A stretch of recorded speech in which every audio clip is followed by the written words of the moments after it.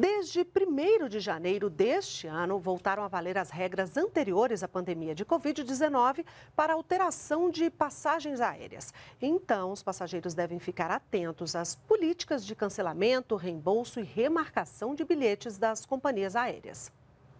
Muitos brasileiros nos últimos dois anos tiveram que adiar viagens por causa da pandemia de Covid-19.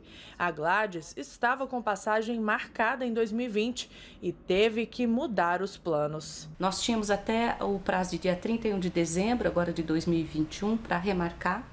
Mas entramos em contato com a empresa, uma empresa aérea brasileira, e ela nos deu até a metade deste ano, 2022, para remarcar. Em 2020, por causa da crise sanitária causada pela Covid-19, entrou em vigor uma lei que flexibilizou as regras de reembolso e de remarcação de passagens.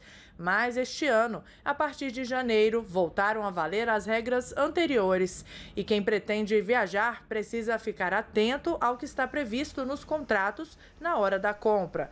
Não é só preço da passagem que muda, mas também as condições de cancelamento ou remarcação. Podem ser aplicados as classes contratuais. E aí, nessas classes, podem ter multas e outras taxas a serem aplicadas. Mas, lembrando que esses dois, esses dois tipos de reembolso e crédito devem ser disponibilizados ao passageiro em até sete dias úteis. Caso o consumidor entenda que há algum tipo de lesão ao seu direito, nós da Secretaria Nacional do Consumidor recomendamos que, em primeiro lugar, ele procure a companhia aérea. Se ainda assim ele sentir que não está sendo atendido a contento, nós recomendamos que procure o Procon mais próximo. Além disso, também está disponível online a plataforma de autocomposição de conflitos do governo federal, que é o consumidor.gov.br.